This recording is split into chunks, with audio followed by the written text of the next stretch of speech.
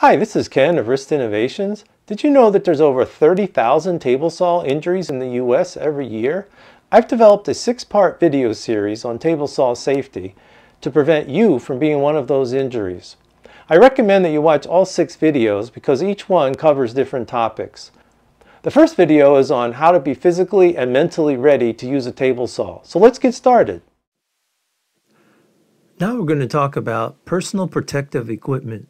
And this is good timing because we have an uninvited guest that has just arrived at the shop. And I don't think they were adequately prepared in order to use the table saw. But let's find out. Dude, let's hurry up and cut some wood on this table saw because I'm really late for dinner, man. A friend here has some work to do before he turns on that table saw. He should tie back his long hair. He should wear safety glasses. He should wear dust protection. Should wear hearing protection. He should remove any loose jewelry, any loose clothing. I also don't recommend that he wear gloves. I also recommend that he wears closed toed shoes and that he should not be drinking alcohol, taking drugs, or medications. And lastly, he should not be in a hurry when he's going to operate the table saw. Now, let's go into each of these items in more detail. Eye protection. I wear prescription glasses. However, these are not safety glasses like this pair here. Case in point, I was watching a YouTube video and a woodworker was describing that he had a kickback where a block of wood came up, hit him right in his glasses, smashed the lens into his eyeball, and he has partial blindness in his eye now. Now, for people who wear prescription glasses, they do make safety glasses that will fit over your prescription glasses. Now for me, I find that wearing the safety glasses over top of my prescription glasses, they tend to be a little more distorted and tend to fog up a little bit more. So what I use is a face shield. I do a lot of lathe work and I wouldn't go near a lathe without a face shield. And I find that by wearing this, that I can easily have the visor up and then when I'm ready to actually do the work, turn on the power tool, the table saw in this case, I just bring it down. So that works for me. Now let's talk hearing protection. It's really important that you protect your hearing from the noise of power tools because they can cause permanent hearing loss over time. For me, I like to use these earmuffs.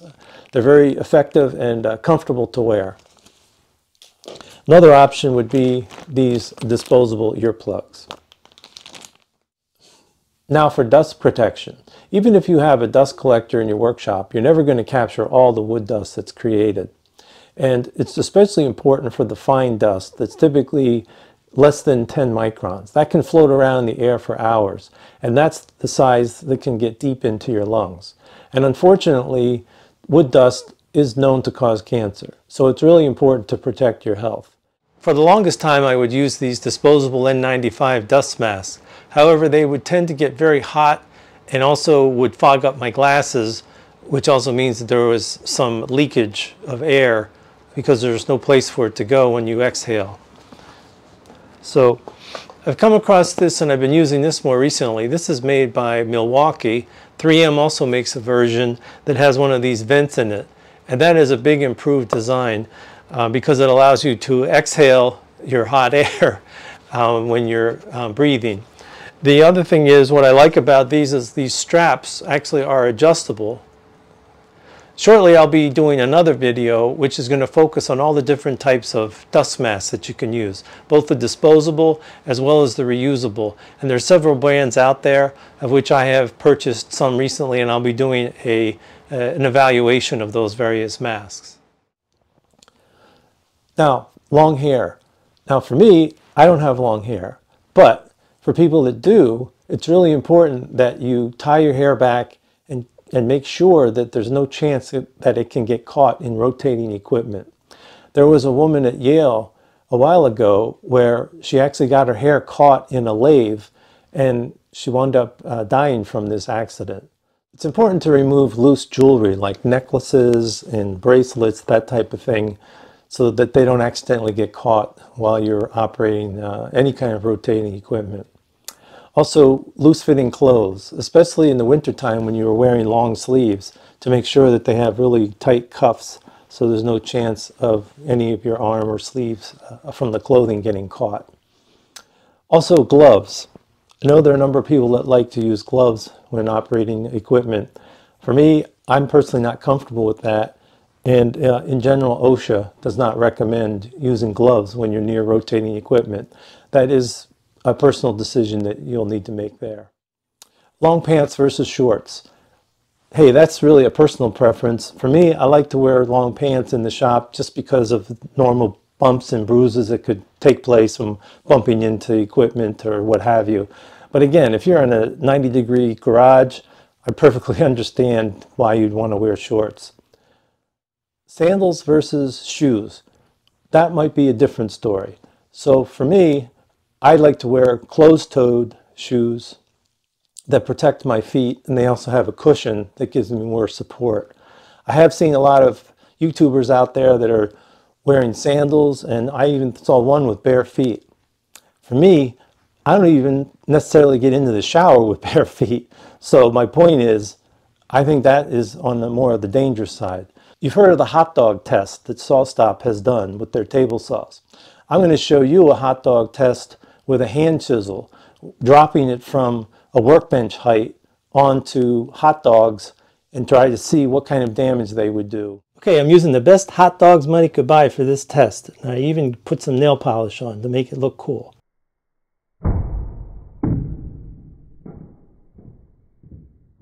Well, you can see from the damage here that this would have gone right to the bone if this was a real foot.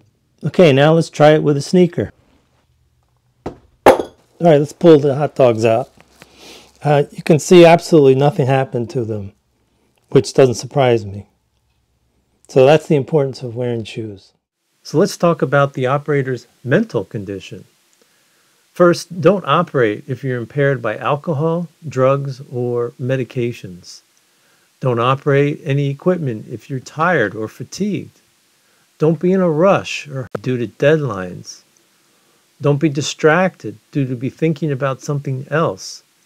Focus on the task at hand. Don't be distracted by other people, especially small children or animals running around in the shop. Avoid the monotony of doing the same job over and over. Take frequent breaks, clear your mind. Most of all, if any little voice inside you is saying that this is not safe, don't do it. Find another way. Okay, now let's talk about some general shop tips. I recommend that you have a fire extinguisher in your workshop as well as a first aid kit.